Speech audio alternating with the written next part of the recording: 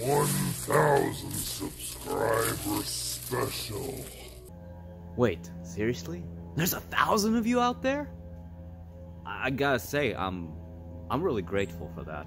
I started this channel just because I wanted to show people what it's like to not really have the money to hire people to do stuff for you and just generally be forced to fix shit, not knowing how to do it all the fucking time. So I'm glad there's there's a bunch of yous with me. Thank you.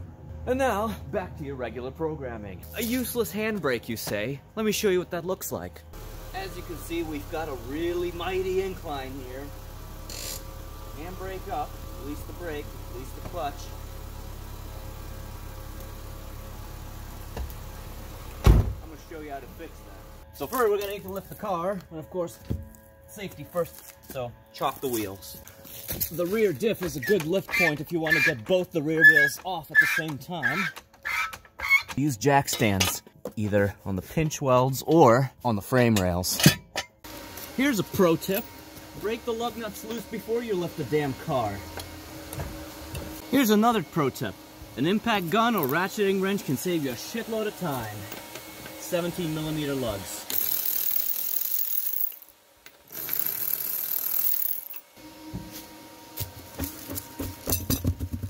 Let's release that handbrake. Some of the newer Subarus have a nice little access hole to adjust the pads that are on the inside which press up against the rotor, but we're not so lucky. This is an older 06 Subaru Forester, so I'm gonna have to take that rotor off. To take off the caliper, we've got two 14 millimeter bolts here. Breaker bar, preferably using a six pointed socket so we don't strip the nuts, the bolts, but use what we got. And then palm that baby.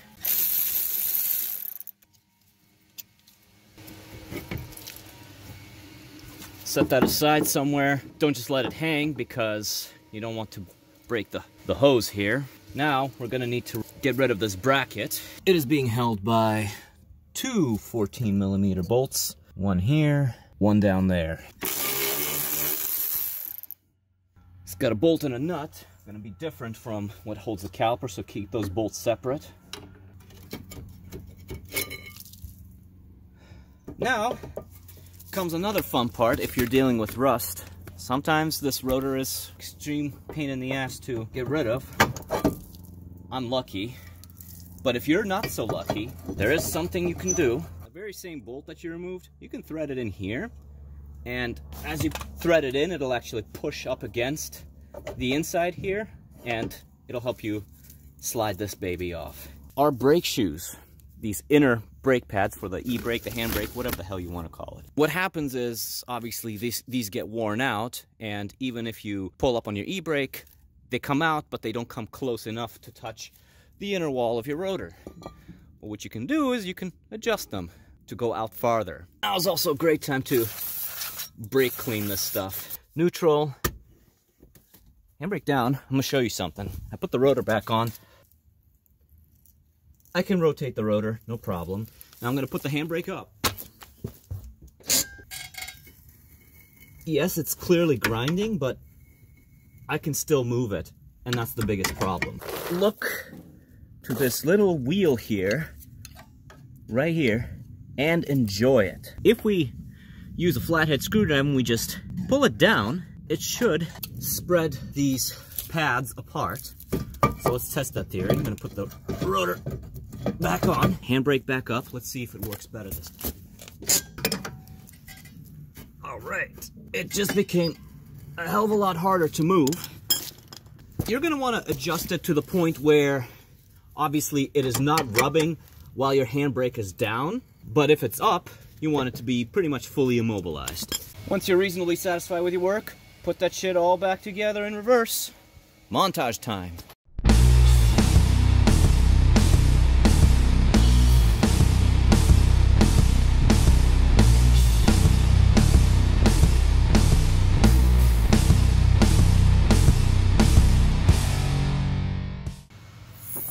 And now, do it all over again on the other side because you love it so much. Only thing that's different here is the direction in which you're pounding your breaker bar, which is up. The other on the driver's side we're doing down, passenger side we do up. Once your car is back down on the ground when you're done, I sternly remind you to tighten those lug nuts. Or else you'll be in for a world of pain when your fucking wheels fall off on the freeway. Ultimate test. Onto the ramp.